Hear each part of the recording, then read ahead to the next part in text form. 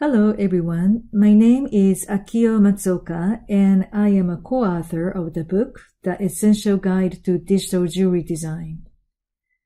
This book has many jewelry design modeling examples using Rhino and Grasshopper. Today I am showing you one of the exercise in a book, Sweep 2 Rail Earring in Rhino. Let's get started. We want this earring to stand up on a top construction plane. So we will create a geometry in a front viewport. We will use the arc center start angle command and center zero and create 270 degrees arc. The radius is 12 millimeter. Then another one, zero, this time it's a little larger, 16.5 millimeter. And then we will turn this arc to wavy shape. So turn on the control points. So control points looks like this at the moment. So we need to rebuild the curve. Rebuild curve.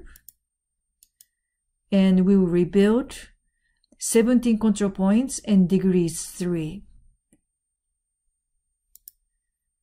In order to create the wavy shape, we will use Scale 2D command and select object to scale. We select this from the third point, every other point.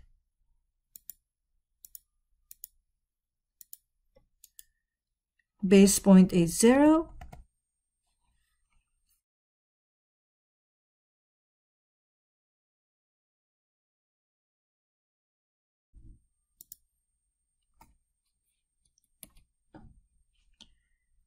Then we need to create the thickness of this earring. So line command, line from the midpoint, and create a line from this arc. Do the same thing the other side of the arc.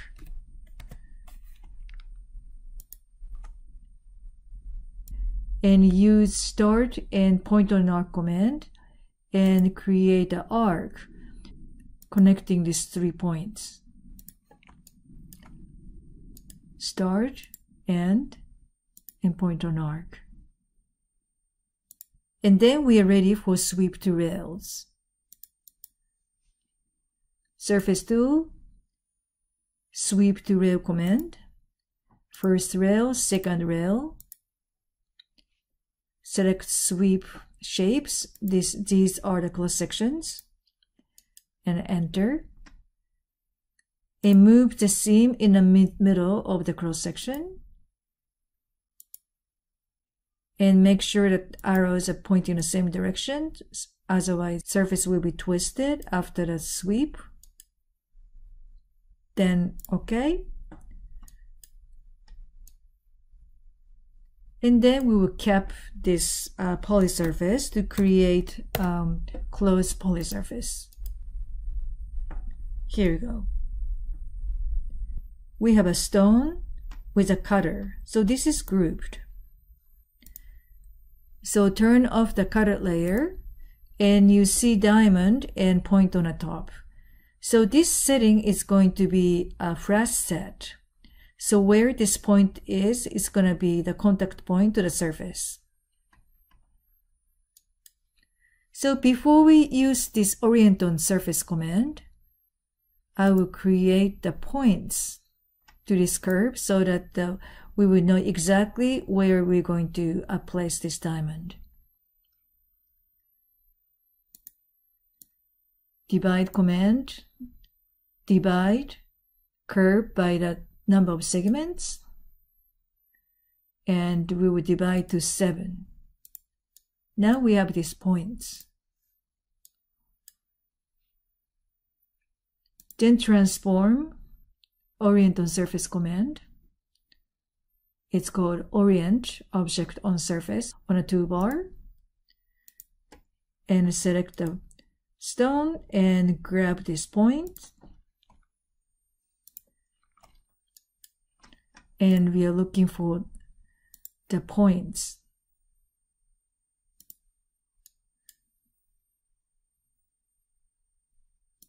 So this setting, as I said, uh, it's a fresh set.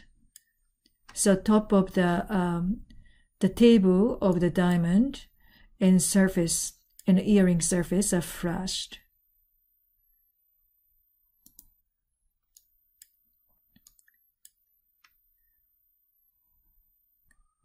This is how it looks like it. So since this is uh, grouped, what we need to do is whatever we grouped, we need to ungroup before Boolean difference. I will select all the cutters and ungroup. So now it's ungrouped completely. Turn off the diamond layer. And then solid tools, Boolean difference, and select the earring. Select the earring and then select the cutters. And when I turn off the cutter layer, turn off the points layer and turn the diamond back. And we have this diamond in a hole.